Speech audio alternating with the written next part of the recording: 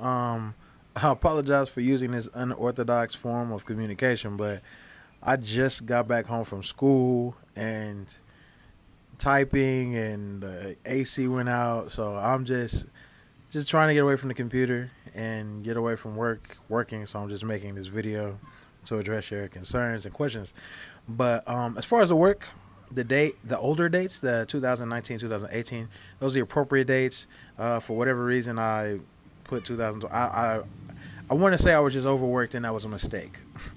but um, yes, the older dates are the correct dates, and um, a little bit more information about um, uh, Chris and currency is um, that I was having a discussion with my mother, and my mother told me that she was researching our family, and it got to the point where uh, it was turning into receipts, and she would hate to see a receipt where we were sold for two chickens, so she quit researching. That prompted me to take her fictitious idea and put legs to it. And using chickens as a vehicle, I raised, went, bought two chickens, raised them, and um, from that place of seeing people as a item, realized that was a real possibility. That people, uh, if a person had been a, you know, a disobedient slave, and let's say they were whipped or beat, they probably didn't have the capacity to work all day long. They probably were only good for so long for work before they couldn't work that long. And a chicken's gonna lay an egg a day. When I had chickens, I got an egg a day. So you can have breakfast every single day if you have two healthy chickens.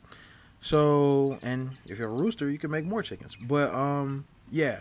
So from that, I took those chickens and put them in portraits with my family, and just use them as a vehicle. They're part of the family, right? But they're not a part of the family because my family wanted them there. They're forced there. Um, serving just as a vehicle by the title. They're the currency. They were the thing that was used to pay for people that look like me, for my family members.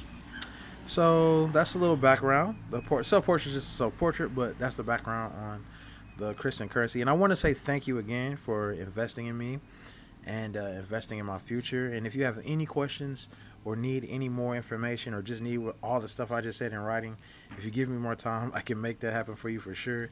Um, thank you again.